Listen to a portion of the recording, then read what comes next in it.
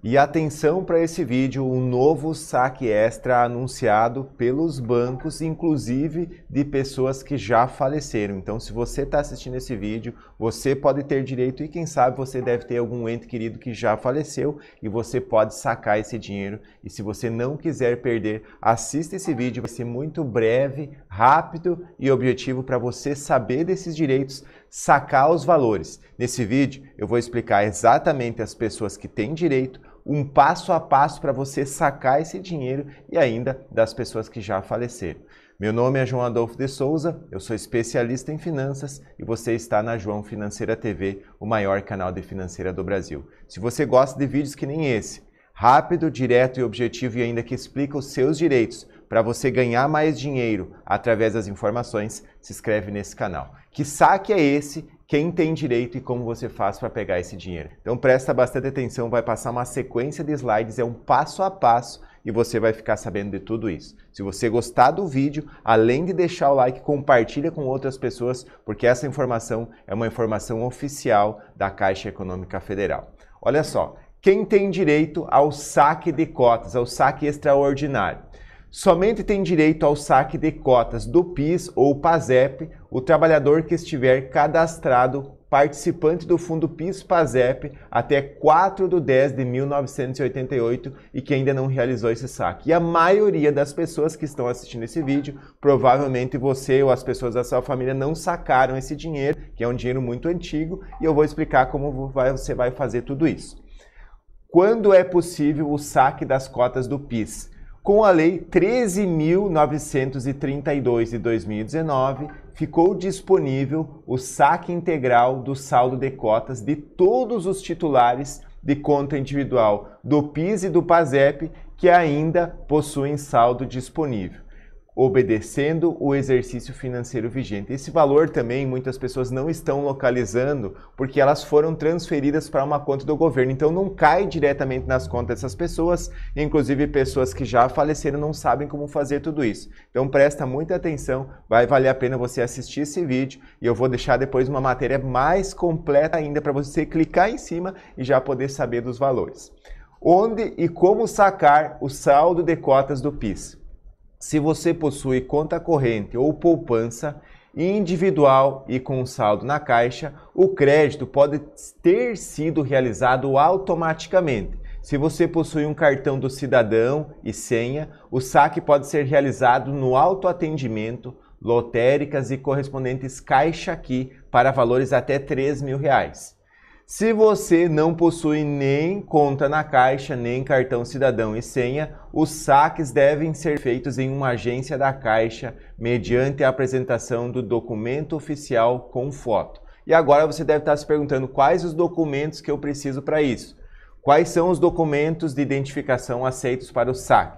Carteira de identidade, carteira de habilitação, carteira funcional reconhecida por decreto, identidade militar carteira de identidade de estrangeiros, passaporte emitido no Brasil ou exterior. E agora, como você vai fazer para sacar essas cotas aí de trabalhador que já faleceu e inclusive aí pessoas que nem imaginavam que tinha esse dinheiro disponível? Os beneficiários legais devem comparecer a qualquer agência da Caixa apresentando os documentos: documento de identificação pessoal válido, certidão de óbito, um dos documentos listados abaixo, ou seja, certidão ou declaração de dependentes habilitados à pensão por morte expedida pelo INSS ou atestado fornecido pela identidade empregadora.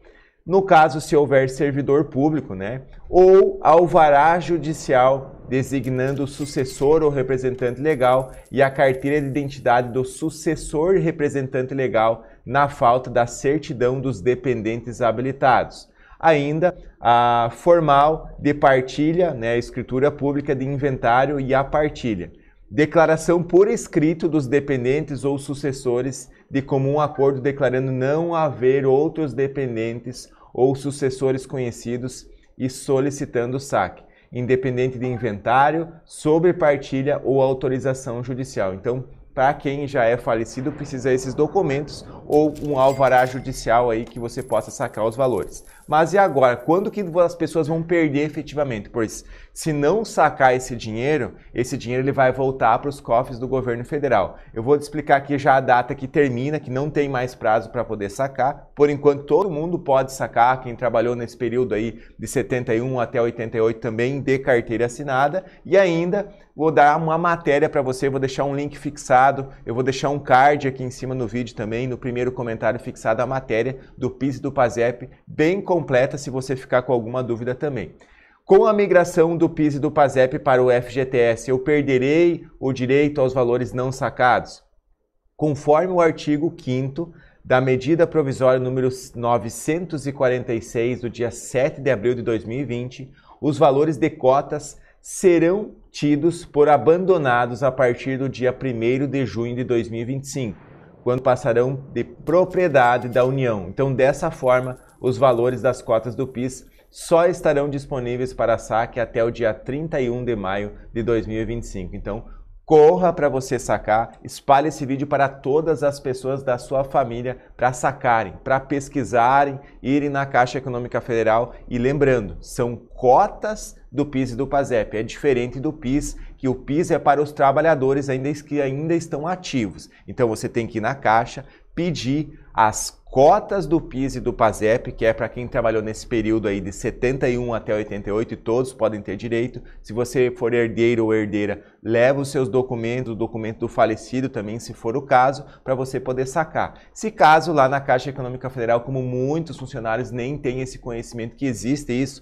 peça um documento quando a pessoa disser para você, falar para você que não tem dinheiro nenhum disponível. Peça um documento que comprove isso, pois muitos nem ao menos sabem da existência das cotas do PIS e do PASEP, que são diferentes das cotas do PIS, que o PIS é apenas para quem ainda está trabalhando e as cotas do PIS é essas cotas antigas e você deve ir lá e procurar se você trabalhou nesse período ou teve alguém que trabalhou, ok? Se você gostou desse vídeo, deixa o like, vai no comentário aqui, já clica na matéria para tirar qualquer dúvida que você ainda ficar.